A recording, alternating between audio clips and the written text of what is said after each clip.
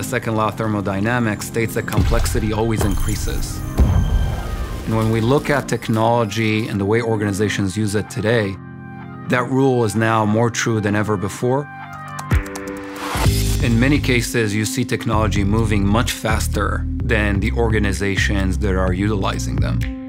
If you think about the analogy of a car, if somebody told you you can drive a Ferrari, but it would have Toyota braking system, you wouldn't feel confident in driving it because the brakes don't match the speed.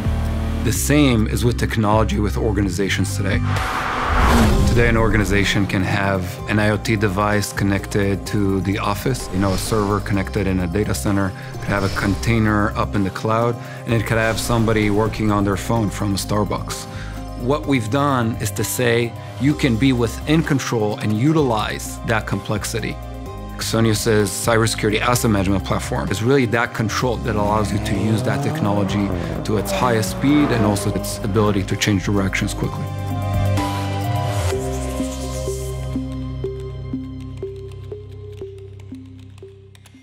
In the past, organizations would have one type of device, one operating system, one network, one management tool, and each one of those things now has a dozens of different variations, which causes this great fragmentation of data.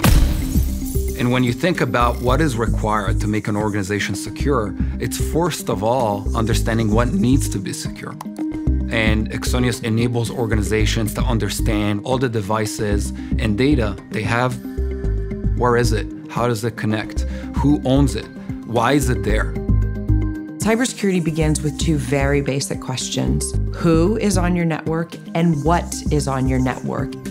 Well, at NASA in particular, pretty much every day there was technology walking into your network and walking out of your network. NASA at the time had about 400,000 pieces of IT equipment and 40,000 pieces of software on the network.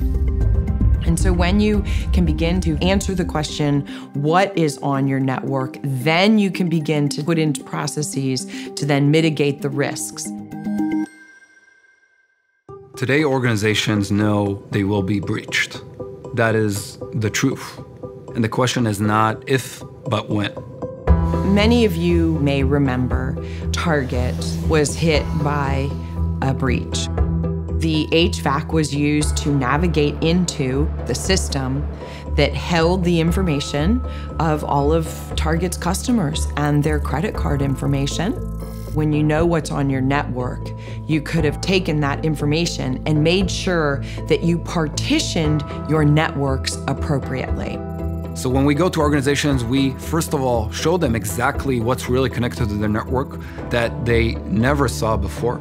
The second is we show them where are the gaps. Now that you see, you can actually secure it. And the third part is automating that process and making sure that the entire organization is secure over time. The ability to see the different swim lanes of technology using a single tool is a savings to a business.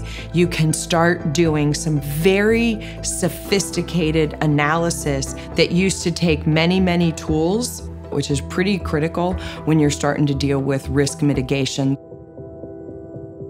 What's going on, everybody? You are in the Hacker Valley studio with your hosts, Ron and Chris. Yes, sir. Hacker Valley is our podcast. It's also our media company where we're focused on empowering and enlightening cybersecurity professionals and technologists around the world. One of the biggest issues in cybersecurity is the loss of focus on the fundamentals.